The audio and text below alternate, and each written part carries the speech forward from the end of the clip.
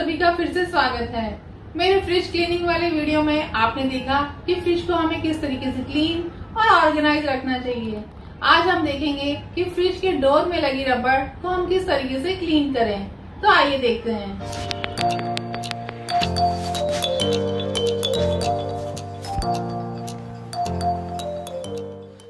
हमारा food store है, यहीं से खाना हम सभी के पेट में जाता है। तो इसलिए इसका साफ़ होना कितना इम्पोर्टेंट है। कभी हमसे गुलाब जामुन की चाशनी तो कभी दूध, दही आदि सामान ढुल जाता है और धीरे धीरे फ्रिज के रबर में गंदगी जमा होने लगती है। तो आज इसी रबर को हम साफ़ करेंगे, जिससे ब्लैक फंगस कॉकरोच आदि हमारे फ्रिज में एंटर ही ना कर पाए।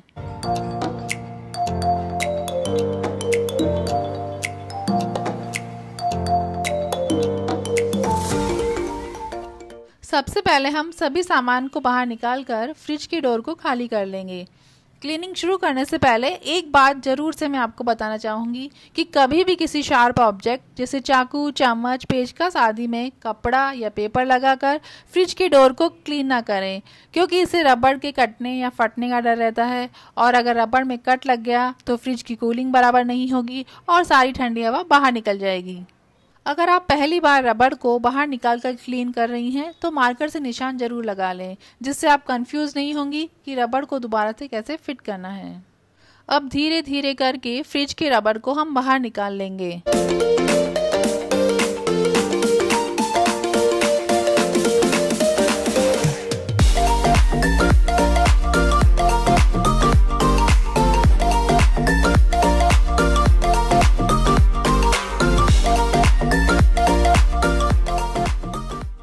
गर्म पानी में सर्फ या लिक्विड डिश वॉशर डालकर धीमे हाथों से ब्रश की सहायता से हम रबड़ को क्लीन कर लेंगे।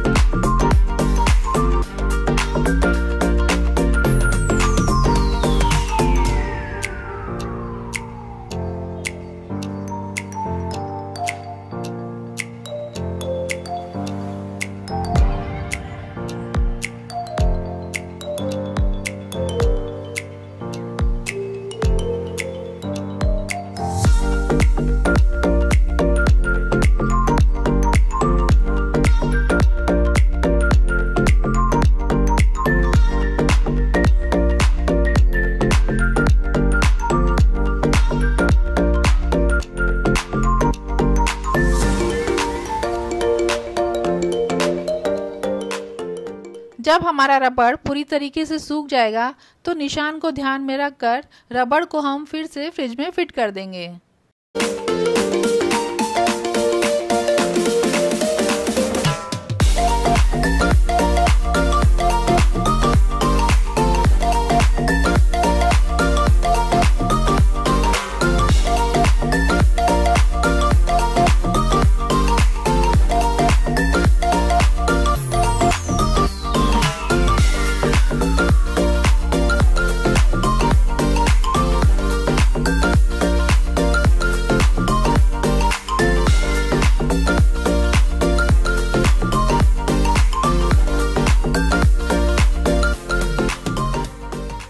अब आप जब भी अपना फ्रिज खोलेंगी तो चमचमाता फ्रिज आपका स्वागत करेगा।